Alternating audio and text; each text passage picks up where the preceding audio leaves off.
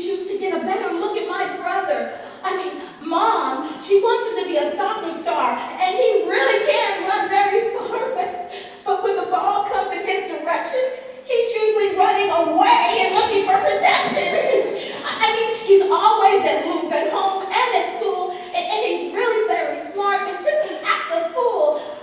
What is he feeling? I just need some clues. Maybe if I put on these magic shoes,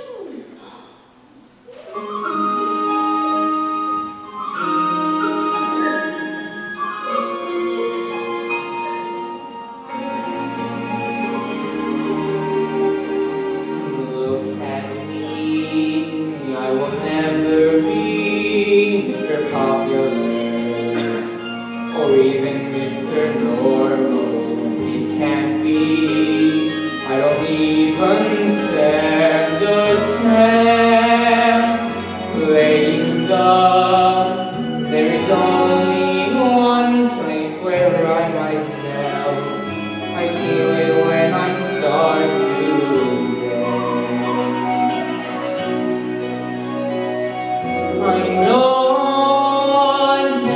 think of me.